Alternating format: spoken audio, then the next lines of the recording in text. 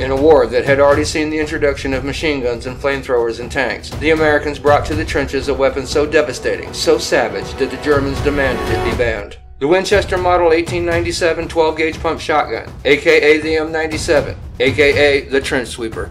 Modified for combat with a barrel guard and a bayonet lug, the M97 could be rapid fired by holding down the trigger and working the slide, a process the doughboys called slamming.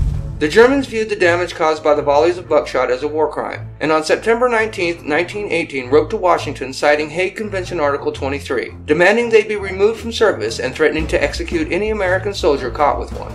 The war ended without resolution of the matter, and American forces still employ combat shotguns to this day.